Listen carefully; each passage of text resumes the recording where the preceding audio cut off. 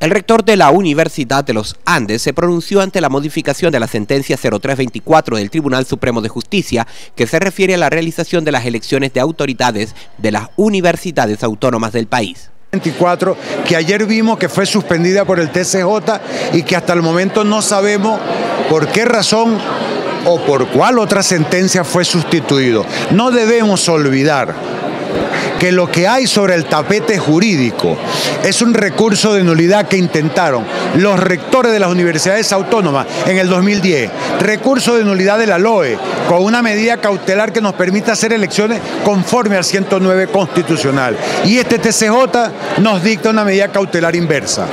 Bueno, yo creo que tienen que empezar por respetar lo que nosotros pedimos. Tienen que empezar por respetar lo que ocurrió en el año 2007, cuando en un referendo constitucional para modificar la letra de la Constitución fue negado modificar el artículo 9. Por lo tanto, el poder originario, el soberano, ya tomó una decisión y nada puede estar sobre ese poder soberano declara que la comunidad universitaria no quiere una intervención del gobierno y fue demostrado en el proceso estudiantil, en el que resultó con la mayoría el sector democrático. Manifiesta que el gobierno no podrá ganar una elección en las universidades.